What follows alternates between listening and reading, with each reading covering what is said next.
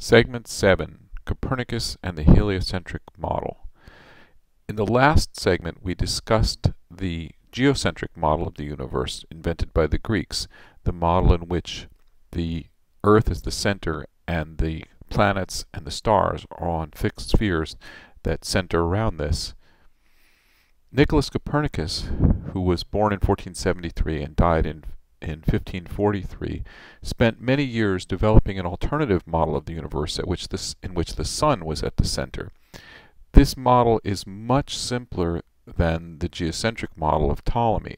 It doesn't require any of these epicycles and equants and deferents that we have in the other model, and it most importantly, it furnishes a natural explanation of retrograde motion. Copernicus did not publish his model until the year of his death, because it was so contrary to the common belief at the time. He feared he would get in trouble with the church. But the work including this model was published in 1543. This picture shows something that we illustrated before, which was the phenomenon of the motion of the planets against the background stars. This picture is very nice. It's, it's, it's photographs of Mars taken once a week over a period of about eight months, showing the gradual progression of Mars from west to east, so it's moving eastward, then it slows down, turns around, and moves westward in the retrograde motion, and then resumes its eastward motion, ending it at the end of April there. It'll continue to the east now until the next time that, that the Earth and Mars are on the same side of the sky again.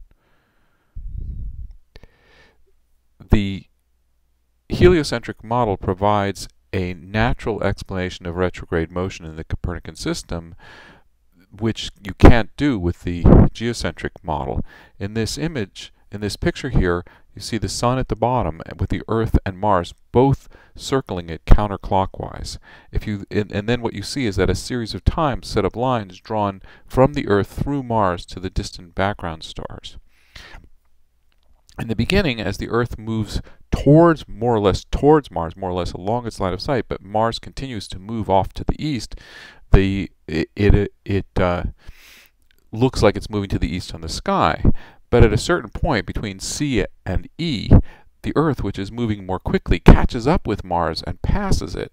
And during this time, the Mars appears in projection to move backwards, to move in retrograde off to the west once the Earth is past Mars and the line of sight between the Earth and Mars is more or less along the direction of the uh, along the direction of the line of sight, the eastward motion of Mars again causes it to appear to move to the east. This is a picture from uh, Copernicus's book De Revolutionibus. There's a copy of this book in the um, in the rare books collection at UT, which we've seen actually at some exhibits it's it's quite amazing. But this this is uh, an, an amazing rare thing to have, and and it's quite phenomenal to to look at in person. This is a quote from the book explaining the essence of the idea with the sun in the middle and the planets moving around it. You can pause here if you want to read it in more detail. Here's the problem. Copernicus's model simplifies the explanation of retrograde motion, but it does a lousy job of predicting the future positions of the planets. Worse, in fact, than the updated Ptolemaic model. So how can it be right and bad at the same time? The problem with Copernicus's model is Copernicus took one idea from the Greeks that turns out to be incorrect, that is, this beauty of perfect circles and perfect spheres, and he put the planets in motion at constant velocity along circular orbits. And since this is not, in fact, the way things work, it does a very bad job of predicting the future positions of the planets, whereas the Ptolemaic uh, astronomers who had this ability to put in a lot of cranks and levers and bells and whistles to make things work, they could adjust things to to have it work out, even though physically it wasn't a particularly good model. To get from the Copernican model to a more correct view of the solar system, we needed better measurements that could actually be used to test ideas about how things actually worked.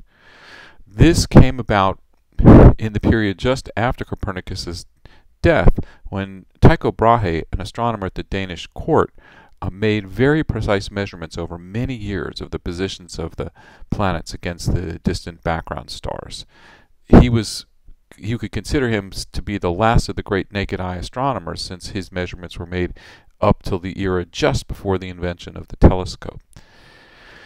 The King of Denmark provided Tycho with an observatory on the island of Ven, which sits in the in the Baltic Sea. It's an observatory called Uraniborg, which we see here in these illustrations. This elaborate observatory was used for many, many years. It's kind of amazing when you think about it now because my picture of Denmark in the winter is cloudy all the time, but somehow he managed to get the job done. This is an illustration of the inside of his observatory at Uraniborg, and you see Tycho pointing at the slit in the wall and this uh, 90 degree arc here, which is used to measure the altitude of the objects coming through by sliding that bar that's in the center right up and down to adjust it. And you see a clock and a man at a desk. And as the stars and planets move through the slot, the time was noted down and the altitude of the object as they went across the central meridian. Tycho recorded 20 years of highly accurate positions for the naked eye planets. That was a far better collection of data than had ever existed before th that time. Tycho, unfortunately, was not able to make a clean break from the Ptolemaic model and came up with a kind of a hybrid between the Copernican model and the Ptolemaic model. And, and, and this had the the sun orbiting the Earth, but the other planets orbiting the sun. Uh, this idea quickly came, ran, was an, also ran, but it, it, it was a little historical sidelight that came from this great observer. In our next segment, we'll see how these data got used to really find the answer to the problem, to really solve the problem once and for all of the model of the solar system.